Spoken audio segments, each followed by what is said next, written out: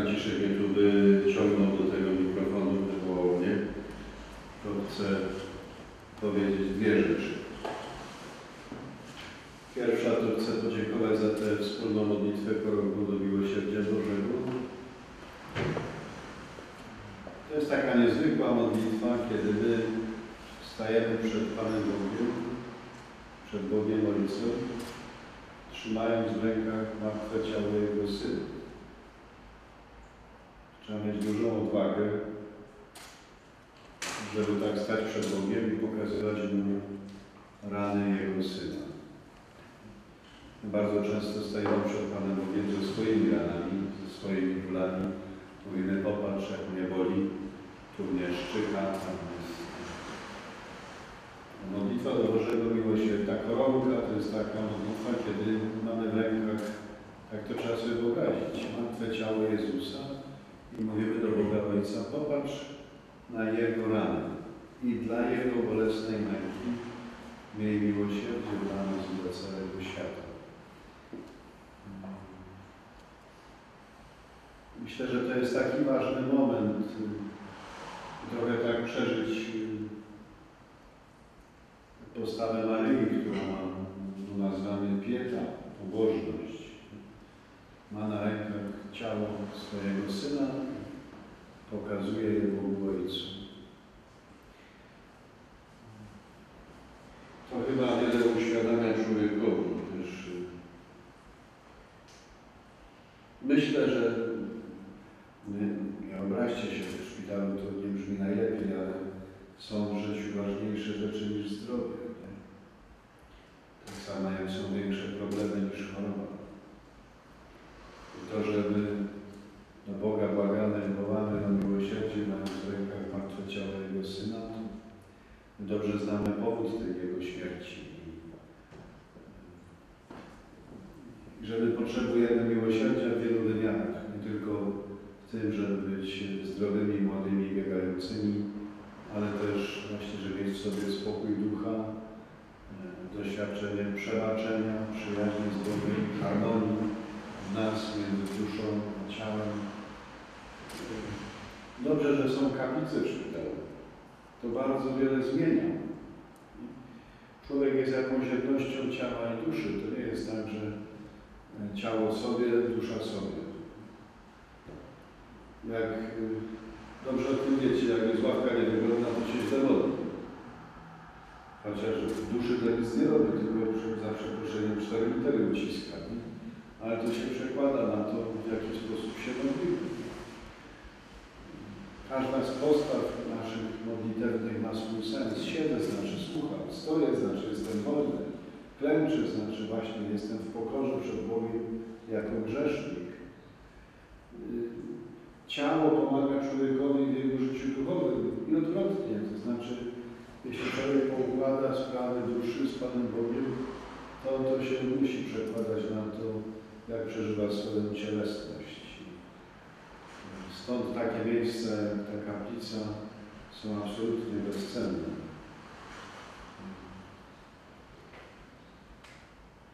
No to jest chyba to, czym chciałem podzielić. To była pierwsza rzecz. Teraz chcę zrobić drugą rzecz. Chcę wypełnić słowo Pana Jezusa dzisiaj z Ewangelii. Msza święta była przed chwilą, toście musieli słuchać. Tam było takie zdanie, Pan Jezus mówi, że swoją chwałę przekazuje ludziom. Także chwałę, którą dałeś, im przekazałem. Taki jest Pan Jezus. My przychodzimy Go chwalić, wielbić, błogosławić, wywyższać. A on mówi, no, ale to weźcie trochę dla siebie. Dzieli się z nami tą chwałą, którą my mu oddajemy. Także chwałę, którą mi dałeś, im przekazałem. Ja trochę na przedłużeniu tych słów Pana Jezusa chcę coś przeczytać, jeśli pozwolicie, ale myślę, że powinniście wstać. Ci tam w łóżkach, co leżą po pokojach, to nie wstawajcie. Muszę zdjąć okulary, bo nie byłem w koniferatu, było ulicznego. Jeszcze. Jeszcze. Przewielebny brat Franciszek z Salezy Chmiel. Jestem. On nic o tym nie wie, więc przynajmniej byś udało, że jesteś zaskoczony. Przewielebny bracie przełoży, serdecznie dziękuję za wieloletnią owocną współpracę z archidiecezją łódzką. W sposób szczególny jako pasterz Kościoła Łódzkiego pragnę z całego serca podziękować za to wszystko, co dzięki otwartości serca i życzliwości brata udało się uczynić dla chorych kapłanów naszej archidiecezji. Ilekroć przekraczają oni progi szpitala ojców Bonifratów w Łodzi, otrzymują dla mnie tylko profesjonalną pomoc medyczną, ale przede wszystkim spotykają się z personelem, który z postawą miłosiernego Samarytanina opiekuje się każdym chorym.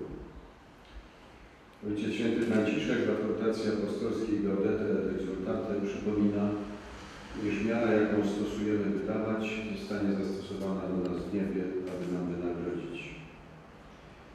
Przewielebny brat, realizując wezwanie świętego Jana Bożego, obiecał ubogich chorych, aby czynić dobro, wniósł do Kościoła Ludzkiego to spojrzenie pełne miłości i miłosierdzia, które daje życie daje pocieszenie, a wszystko to trafia do serca bliźniego. Na dalsze lata owocnej posługi służby chorym i cierpiącym życzę przewielebnemu bratu przygodę błogosławieństwa Bożego,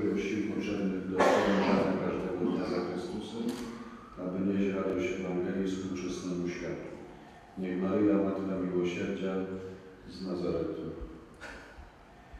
która jak nikt inny żyła błogosławieństwami Jezusa, pomaga przewielebnemu bratu tkać w życiu pokorną i prostą treść Ewangelii. I do tego listu jest mm, dyplom, w którym e, czytamy, że arcybiskup metropolita łódzki przyznaje Złoty Krzyż Archidiecezy Łódzkiej bratu Franciszkowi Salezeru Chmielowi, Bonifratowi, zasłużonemu dla Kościoła Łódzkiego.